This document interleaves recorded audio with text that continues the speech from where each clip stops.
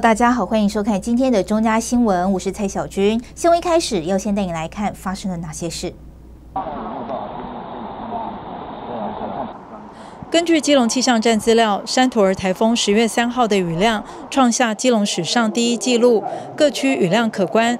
谢国良市长在二号深夜前往勘察东信路土石流灾害之外，持续马不停蹄在市区各处会勘。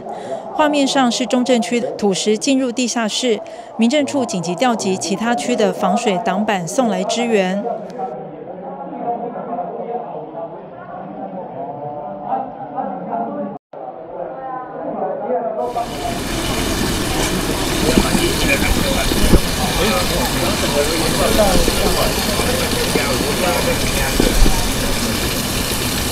你刚打上去应该是对对对，一一天天天蛮高的刚刚，对。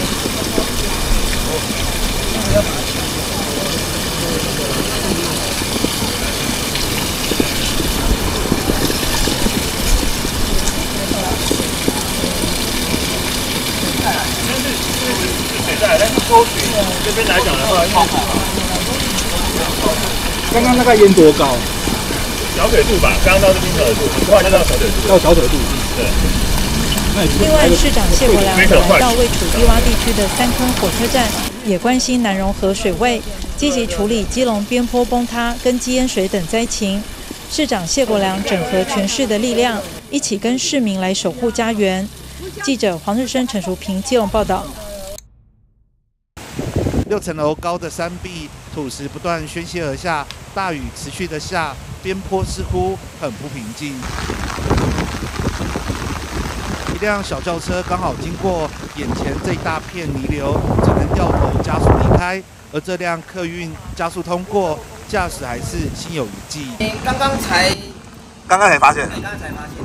安乐区麦金路三巷通往中安台北社区连外道路，三号中午发生土石滑落现象，六层楼高的山壁上方已经坍方变成光秃秃一片，而旁边的喷浆出现松动，持续的往下掉。市政府公务处科长廖俊玉、安乐区长景一泽第一时间前往勘灾，担心土石继续滑落，立即采取这一定要先通。现场的状况大概它是一个六公六六层楼高的一个挡土墙有持续崩落的情形，那泥浆也随着豪雨不断的冲刷坍塌，哦，那随着雨也持续在崩落，那会有危险的情形，就更崩的动作，保障用路人的安全。那后续带道路单位来做道路的抢通，以及后续要求地主行地主做道路那个边坡改善的事宜。这条路是对我我们壮观里的居民啊，是一条非常重要的道路。现在如果摊方的话，希望市政府可以尽快帮他抢通。但如果在这过程无法，因为风雨还蛮大的，如果过程无法就是立即抢通的话，那希望能把它封起来。由于山壁土石松动，持续滑落，基隆市长谢国良下午到现场勘灾。我们今天的降雨量已经上调到有超过五百毫米，这个对基隆来说的负担量是非常大的。而且强韧台湾的气象团队都一直提醒我们，只要超过三百五十毫米以上，就可能会有土石流的一个情况。所以，我们今天路是在仁四路、仁二路、调和街、啊东信路等等，现在都有土石流的情况。所以还请民众要多加注意啊！那这个有第一有什么状况，随时要跟我们联系，那我们也会尽快的处理。我本人有机会，我也会过来看。台风带来好雨，基隆的雨量上修到五百毫米，就怕土石灾情发生，民众千万不能够掉以轻心。记者黄少明基隆报道。山陀儿台风携带豪大雨侵袭基隆，许多地方都传出积淹水以及土石泥流的情况。其中在仁爱区仁市路民宅传出土石崩落，基隆市议会议长童子伟和市议员郑文婷也立刻和当地博爱里长邱三元到现场看灾慰问。我想不要头痛医头，脚痛医脚，因为这边是少将店。就是过去在庙府周边，然后这边过去是一个山坡，然后后面可能就是国产属土地。这过去常常在国产属的土地跟市政府之间做一些拉扯，大家用公文往返、往返、往返，然后我们要不要除草，要不要怎么样维护什么的？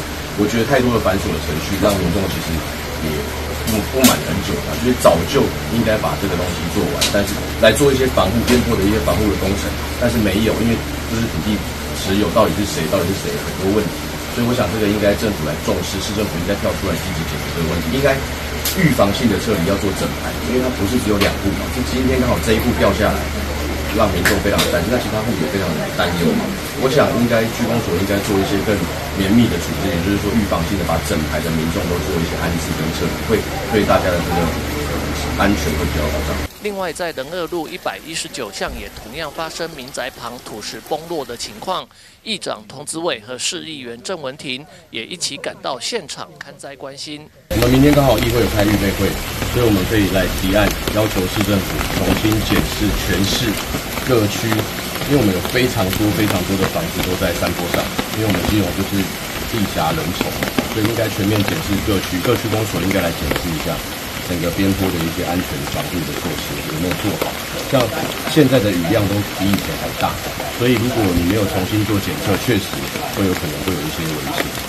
议长童子伟表示，市议会即将召开预备会议，将会针对山陀儿台风的灾害抢救以及复救和未来预防减少台风灾害的各项问题，请市政府提出报告。记者吴俊松机动报道。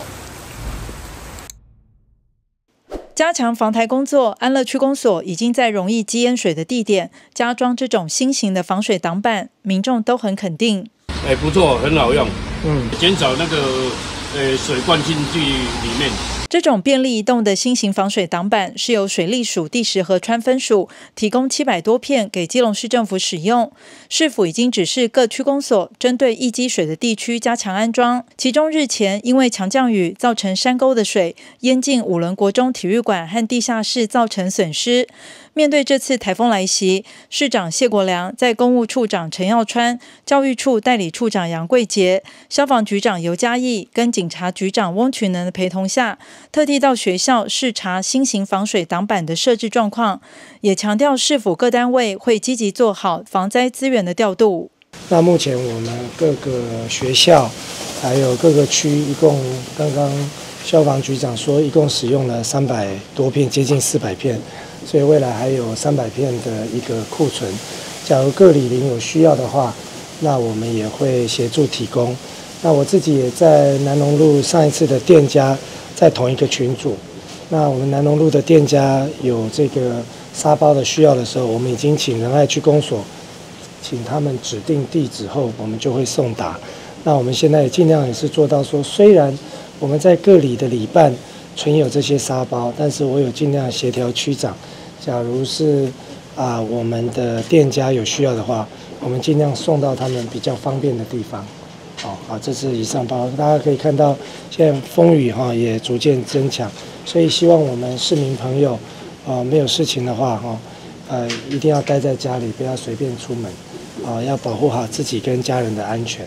下面大概六十几公，六十八公分。下面的面积比这边大，所以这边的压力会会比较大。人家说这个会冲出去嘛，哦，这个会冲出去，不会，因为这个的压力，这个水压到这边，这边的水压是这样子的，哦，所以它的压力是往下压，跟这边的压力比起来，这边的压力比较大，所以这个推不倒，不会推倒了。对对，而且它这边还有一个一个可以扣住。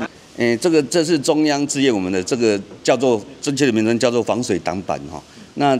整个整个是利用我们水压的原理哈，来来压住整个防水挡板啊，让它不会往后倾倒。那利用水压来制重来来挡水啊，这个整个可以挡水的高度大概可以达到五十五十公分左右，按每个挡板的宽度大概是九十公分。啊，这是很感谢中央可以支援我们七百片哈，来针对我们易淹水地区哈，第一次来使用这种防水挡板来防水。为了防范台风伴随的雨量可能带来的灾害，市府各单位积极运用防灾资源，加强防台工作。记者黄志生、陈淑平基隆报道。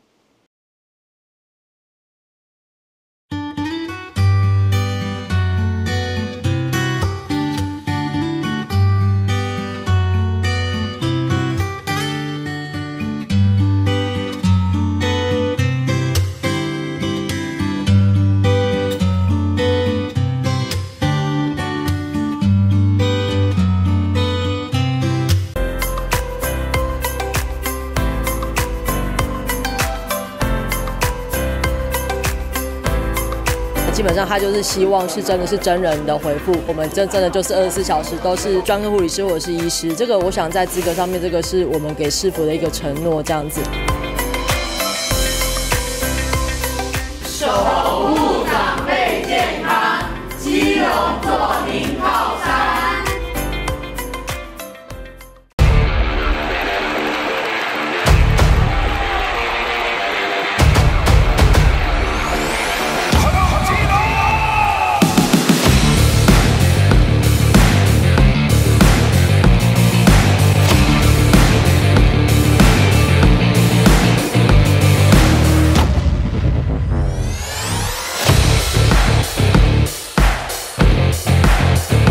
欢迎大家来到基隆。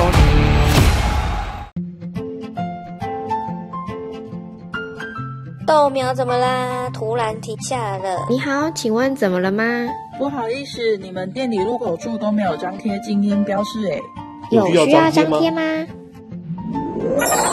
烟害防治法有规定，只要是在禁烟场所入口处，都要张贴明显的禁烟标示。没张贴会被罚一万元到五万元呢。还有啊，禁烟场所里面不可以有东西被拿来当吸烟的器具，例如盘子、杯子或垃圾桶都不可以哦。违规的一样会被罚一万元到五万元哦。可是像我们餐厅，有时候就是会有人在里面抽烟啊，那我也会被罚吗？在场所的员工或老板有负责要劝阻吸烟者。没有阻止，就代表你们默许他们在里面吸烟。我们知道了，谢谢你哦。我们马上去文具店购买禁烟标示张贴，也会告知客人要遵守禁烟规定。豆苗，你很棒耶，有把卫生局教你的都记下来哦。嘿嘿，这是我最成功的一次，yes。二十五年前就是回来基隆创业，所以我就把基隆的，比如说基隆的 XO 酱、基隆的小卷，然后和平岛的海藻。然后融入在这个饼干里面，乌金酥、杏仁瓦片，很想让这里可以让大家都知道我们基隆的好。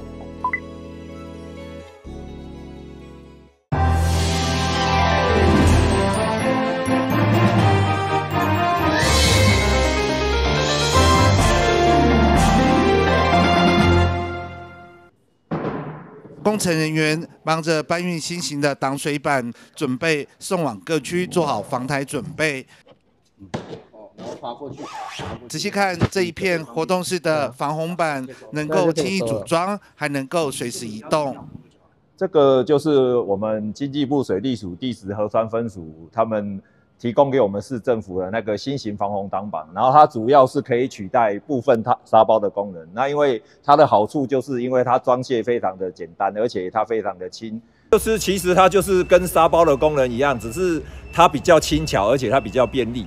然后它是靠水压的方式，然后它主要是它组装很方便，它大概只。如果如果一个人的话，也都可以来组装，大概一分钟都可以就可以组了十几米啊，就可以免去说帮沙包很重，而且可能需要很多人一起来来操作的。上个月二十七号，基隆下起大雨，五伦国中后山水量大，校园内的排水系统无法承受山沟涌出的水流，导致雨水流到体育馆，损失惨重。当天九月二十七号的时候呢？呃，有发生短时强降雨的现象，那么本校这边的这个排水的这个沟渠呢，啊的容量呢超出它的预期，啊导致于它整个水是冲出沟面，一路向前，好冲到活动中心。强台来袭，五伦国中体育馆前堆起的沙包，作为第一道防线，安乐区公所运用第十河川分署提供的防汛挡板，安装在山沟的出水口，希望能够将雨水导引到水沟。包含体育馆跟我们地下室的情形吼，那这个也也造成古伦国中相当大的困扰。那我们来现场看了之后，我们大概会帮他做三道防线吼。第一道防线是在我们体育馆的门口会做一道防线，挡止。防止水灌到我们体育馆跟我们体育馆的地下室，这大概第一道防线。那第二道防线的部分，我们也感谢呃经济部第十十河分署跟公我们公务处，他们借了我们十五块新型的挡水板。好，那我们再做一个挡流的方式，避免水流直接的灌到我们的体育馆的场所场场所里面。那后续校方也已经呃要请厂商估价，然后就是要做那个。呃，挡墙，然后去开那个明盖来做后续的改善。那这边的经费，我们教育处会予以补助。那希望在呃，不管是紧急措施或者是永久改善之后，可以不要再发生。三托尔台风来袭，五轮国中做好万全准备，希望能够将灾害降到最低。记者黄少明用报道。院传出火警，大批医护人员忙着将病床上患者推进电梯，移到安全地点。另一头，消防队员挺进走廊，在能见度的空间。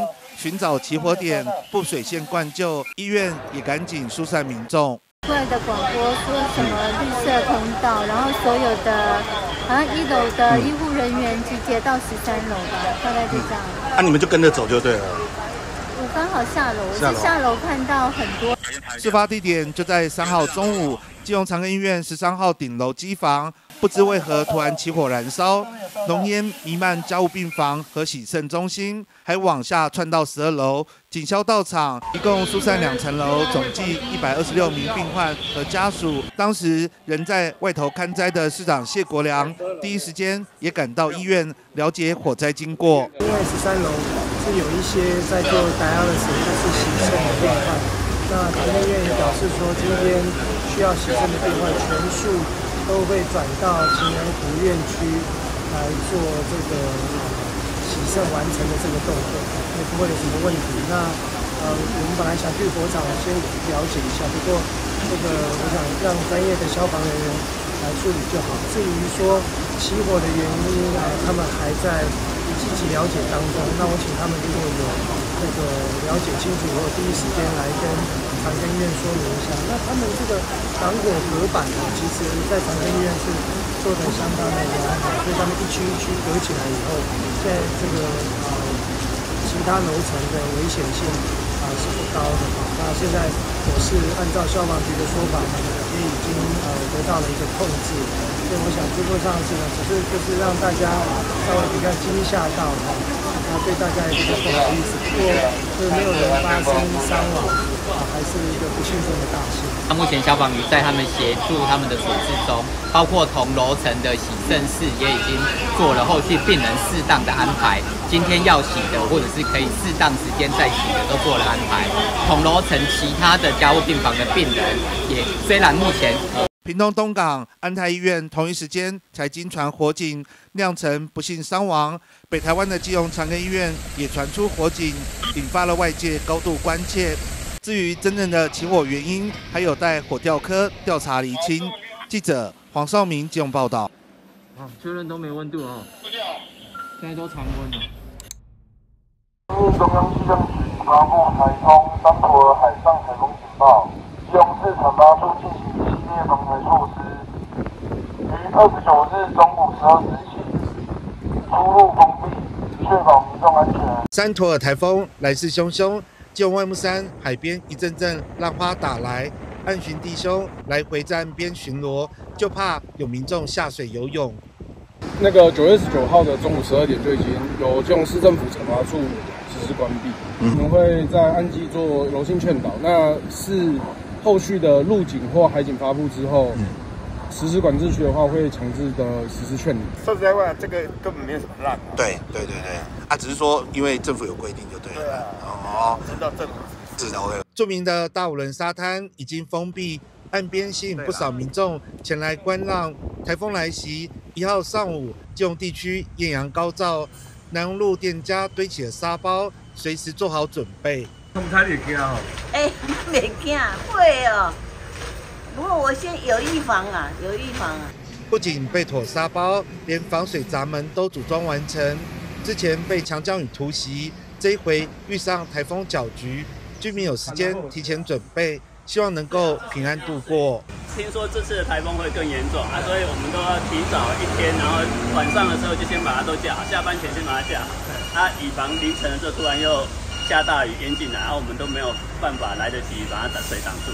镜头来到八斗子渔港，渔船全都绑牢，希望能够挺过台风强劲风势。而朝境公园出入口边坡，六月时曾发生山壁坍方，公路总局已经派遣人员二十四小时镇守，就怕落石导致意外。防范风雨增强，希望民众都严阵以待，沿岸更是不能掉以轻心，全力做好防台准备。记者黄少明基隆报道。民国九七年才开始启用的慈云寺大悲殿中，供奉了由中国名师许习于精心雕刻的千手千眼观音菩萨。千手千眼观音菩萨为尊四面佛祖。雕工极为精细，信众参拜完大雄宝殿后，不妨进到大悲殿，一窥四面千手观音菩萨的独特样貌。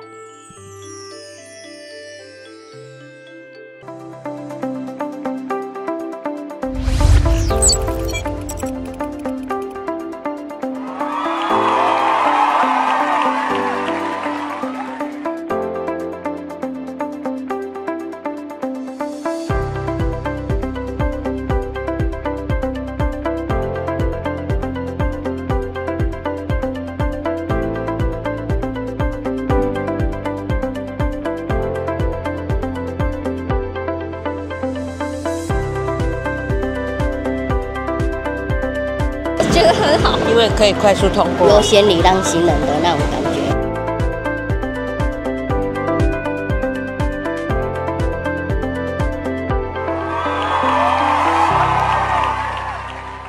他们从中国来，移民到我们台湾，然后这样创业超过二十年，其实非常诚恳实在，在做生意，而且也懂得回馈社会，然后照顾我们的一些弱势民众。所以在疫情的期间，其实我跟他们有一起在共同参与，非常感动。确实把我们在这个台湾精神发挥的非常好，也很谢谢他们这样子长期的对我们的支持。可是宝基隆有宝物猎人，艺术家找寻的宝石在哪里啊？源自台湾的古老染色艺术究竟是什么呢？基隆味节目将用镜头带领观众实地走访，体验基隆的味道。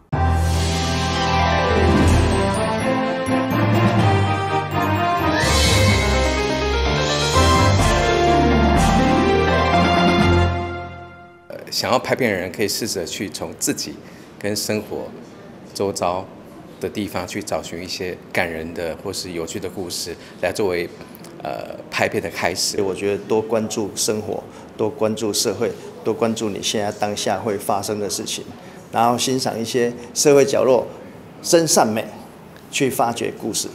画面上是基隆第七届美丽基隆影片摄影创作比赛的论坛活动，在旧镇滨派出所举行。特别邀请到知名导演马立群跟艺术家邓博仁分享他们的创作心得，并与主持人马香莹进行对谈，吸引许多对影像创作有兴趣的民众前来参加。活动现场，基隆市政府综合发展处副处长陈文昭、市府发言人于志明，跟中嘉宽平吉隆总经理李宇平等贵宾也莅临现场，为论坛注入不同的观点，希望借由论坛的激荡，来启发更多创作灵感。拍出基隆感动人心的故事。我们美丽基隆的这个活动哦，是由我们市政府主办，然后呢，由民众呢来共同参与。我们期盼能够透过民间人士的参与，将我们更多基隆的人文风情，还有城市风貌，来让更多人知道。那我们今天呢，透过举办这一场论坛哦，我们邀请到影视还有呢艺术界的相关人士哦，并且呢，可以与我们学员哦一对一的来进行这样的一个面谈哦，来来鼓励大家哦来进行这个创意的这个激荡。我们期盼透过我们这个民间市民朋友的这个镜头下的这个作品，来让更多人来认识我们基隆的风情。论坛活动现场，参与民众也针对如何融入人文情感，以及如何找寻灵感等问题，踊跃的提问、互动交流。借由这次的论坛活动，期待激发参加者的创作热情与观察力，产制出更多基隆这片土地的好故事。A K 里面，如果可以去想的话，你可以想的怎么样在 A K 里面，它 B K 变成是一个很好的空白画面了哈。但 A A A K 可以是一个很特写的一些，也许是人物特写的部分，然后来做一个搭配。当然前提是，我觉得。B K 要很贴切，A K 说的东西内容很重要。如果 B K 跟 A K 完全没有连接的话，那就只是一个空景，好，它没有任何的故事。但是如果 B K B K 的空白画面，它刚好是很贴切的跟 A K 做一个 mix 的话，那就会加分的，非常加分的一个效果。呃，与众不同，我觉得是重点啊，因为基隆 biển 大家都知道嘛，山海都很美，港口也很美。但是我觉得基隆是移民之城，我觉得特别的地方就是它有当初很早以前有非常多移民进到这个基隆这个地方，所以把很多的那个文化都带来这里去融合啊，哦，或是融合转化成一个很不一样属于台湾。地方的文化，我觉得可以从这个地方着手，去寻找一些更深层、更深层的基隆的故事。我觉得是未来或许在参加这个比赛里面是呃，或许可以发展的方向。有种海港嘛，它有包容心、接纳，不就像刚刚马老师讲的移民这种文化。那我觉得基隆港就每一艘船这样进来进来，不管你这艘船是怎样进到渔港里面。它就是一个很独特的一个一个生活的故事，所以我觉得那种开阔一个宽容心、包容心去看这个基隆市。嗯，那我觉得今年记录的高中生活，相信在大学跟出社会生小孩以后再回看你高中时高中时候的一些同学同才之间的画面的时候，你会很感动。所以对我而言，我觉得就像邓老师说的，今天你能够用手机去。随手可得的工具去把当下的影像拍下来也是最珍贵的。其实有非常多的一些很棒的，不管是国内外的影片、纪录片，其实最珍贵都是那个历史影像啊，因为它永远不会再拍不到了，所以它的存在就是一个我觉得最有价值的。所以我觉得工具真的是不是那么的，最起码你随手可得是最重要的，而不是说你一定得用现在我那是四 K、六 K、八 K，现在要八 K 了哈。的一个摄影机去拍下当下，我觉得它反而不是一个重点。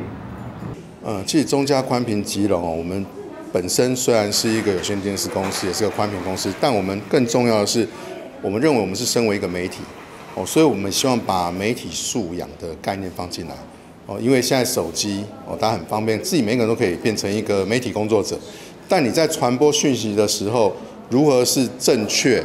哦，不诈骗的行为，哦，如何传递正确的讯息，这对我们来说，呃，是很重要的一件事情。所以，我们希望通过这样活动哦，当然除了大家运用手机拍照啦，或是摄影之外呢，也能够了解讯息的取得容易之后，我们要如何辨别讯息的真伪，哦，这是我们最近一直致力在推动的。那当然，你清楚之后，你也不容易受到诈骗。哦，这样，我想这是我们一直希望努力的方向。记者黄日升、陈淑平、基隆报道。以上就今天的中加新闻，非常感谢您的收看，我是蔡小军，祝您一切平安，我们再会。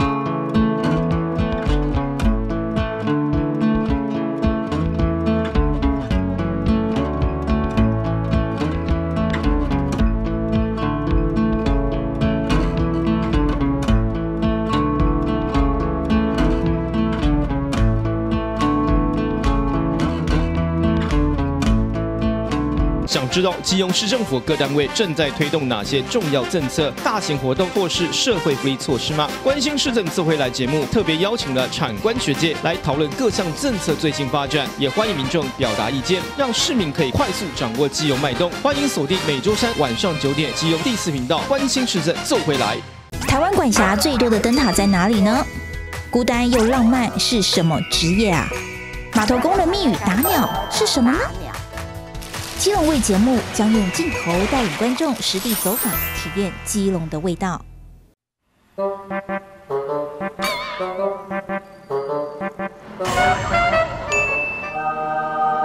社长，哎，你被挡住了。嗯。好，我来把它搬开，我来把它搬开。哇，好重。哎，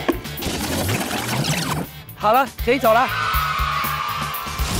各位市民好朋友，你会担心像刚刚的许愿一样，想要进出的时候，结果都被盆栽都挡住了吗？我们七月一号开始有一个盆栽整洁的专案，我们将会用绿脚丫来代替行人需要净空的空间，让您可以有一个更舒适、更安全的行人空间。请一起响应我们的绿脚丫。来代替我们的盆栽。